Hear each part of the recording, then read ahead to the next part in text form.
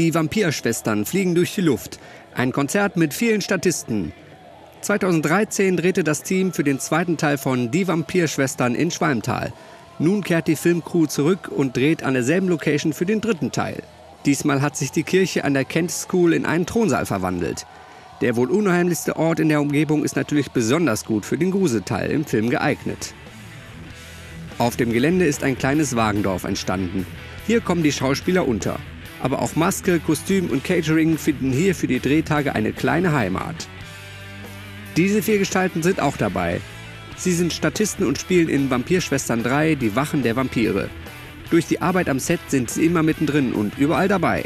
Man reist ja überall mit, hin mit, äh, durch Höhlen. Dann waren wir noch in einem Lavakeller unten, also unterirdisch in einer Höhle. Und jetzt hier im Kloster, das ist schon wirklich aufregend.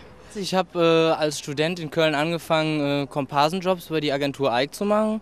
Und ja, dann kommt halt von Hölzchen aufs Stöckchen, äh, wird man dann immer wieder gefragt, wenn man zuverlässig ist. Ja, und so wurde ich dann halt gefragt, ob ich hier Lust hätte, hierbei mitzumachen. Ja, jetzt bin ich hier. Neben den schönen Dingen ist der Tag der Statisten auch stressig.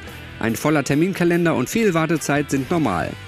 Äh, wir kommen ziemlich früh morgens hier hin, dann müssen wir erstmal ins Kostüm, äh, damit wir so toll aussehen, wie wir es jetzt tun. Dann geht's ab in die Maske und ja, dann geht's ab ans Set.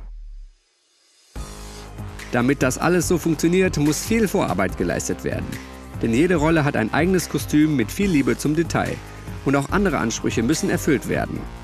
Ähm, ich finde, das Schwierige daran ist eigentlich vor allen Dingen, dass man bedenken muss, dass wir ganz viele Stunt-Sachen machen. Also sprich, die werden gewired, das heißt, die werden aufgehängt mit Geschirren. Ähm, und dass man viele Sachen doppelt braucht, dass man nicht einfach irgendwie Secondhand oder Flohmarktmäßig losziehen kann und sagen kann, okay, kaufe ich einmal, brauchst du dann halt dreimal oder viermal. Und das finde ich eigentlich ehrlich gesagt das Schwierige dran, aus diesen alltäglichen Sachen dann doch was Besonderes zu machen, was du aber vervielfältigen kannst. Also das finde ich schwierig. Fünf Tage lang dreht das Team in Schwalmtal. Und so ein Drehtag dauert mehrere Stunden und oft bis in den Abend. Ohne ihn geht's deshalb nicht. Caterer Niklas. Er sorgt für die Bedürfnisse der Crew. Es fängt morgens mit den Eierspeisen an, dass jeder so seine eigenen Vorlieben hat. Einer will ein gekochtes Ei, der andere will ein Spiegelei, der andere will ein Rührei. So kann man sich vorstellen. Es ist ja eine Permanentversorgung. Dann kommt nach Mittag kommt dann äh, wieder Schnittchen, dann kommen äh, Brote, dann kommt Kuchen, dann kommen, kommt äh, Süßigkeiten, Obst, äh, Rohkost geht in einem Schnürchen durch, von morgens bis abends. Viel zu tun also und das den ganzen Tag. Von der Crew kommt dann auch der ein oder andere Extrawunsch.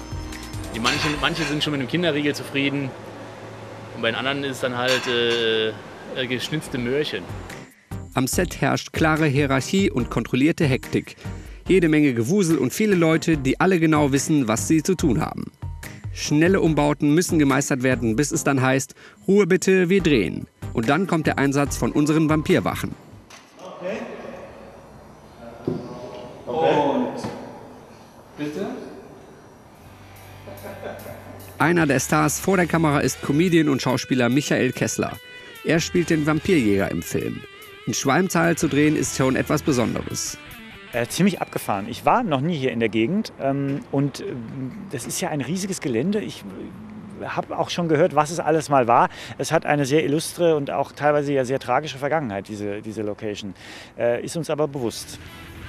Knapp eine Woche ist das Team in Schwalmtal, dann geht's weiter in Richtung Bayern. 2016 kommt der Film dann in die Kinos.